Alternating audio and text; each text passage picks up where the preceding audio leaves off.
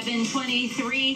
The Golf Course Superintendents Association of America is introducing STEM and an innovative environmental education program for students through the sport of golf. This morning for our hometown hotspot, we're at the Westminster National Golf Course. Joining us now is Superintendent and General Manager Ryan Kraushofer. Good morning to you.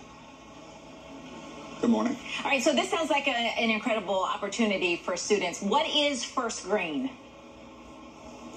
Yeah, so First Green is a uh, STEM outreach program using uh, golf courses environmental learning labs. Not only are we introducing STEM to uh, kids and fifth graders and its hands-on learning experiences, we're also introducing educators to all the career paths and job opportunities that exist in the golf industry. Uh, so if we can, our thought is if we can get kids interested in STEM and golf early, then maybe we can attract employees as they get a little older. Oh, this works two ways. That's very, uh, very smart. All right, so what actually will the kids be doing? I see a lot of things laid out there on the table.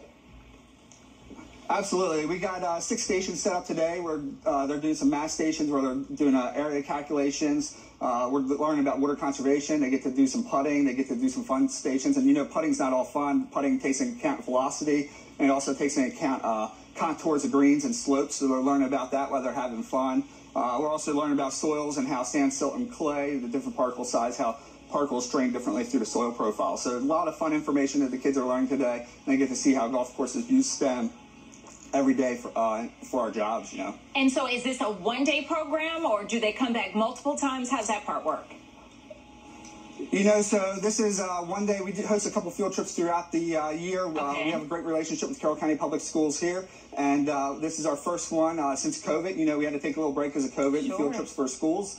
Uh, but we're ramping back up, and it's a great opportunity. If any teachers are listening, they can reach out to their local golf course superintendent try to get a uh, first green uh, field trip hosted at their local facility. And we were just looking past you while you were talking a little bit, and the the area is beautiful. I mean, you, you couldn't ask for a, a better backdrop to be out on a field trip. Absolutely. It's great weather today, luckily, and uh, we're slowly starting to green up. It's been cold up here. You know, we had a little frost yesterday morning, but uh, things are starting to green up, and we're starting to kick into our busy season.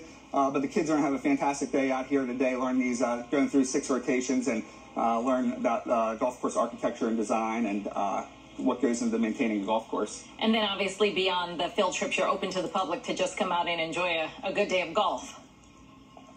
Absolutely. We got a packed tee sheet today, so we got a lot of kids running around and some golfers uh, to go past them. So. All right. well, Ryan, we're going to talk to you guys throughout the morning uh, and see more of what's going on there. Thank you so much. Thank you. Well, if you want more information, it's all